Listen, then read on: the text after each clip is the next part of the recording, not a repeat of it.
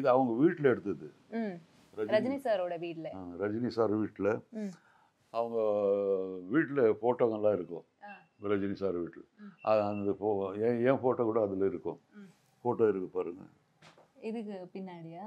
இது இது இது இருக்கு பாருங்க. ஆமா ஆமா இந்த ஃபோட்டோ அது போட்டு வச்சுருப்போம் அது முக்கியமானவங்க யார்? அவங்க அப்பா அம்மா அவங்க அண்ணா நான் ஃபோட்டோ அங்கே வச்சுருப்போம்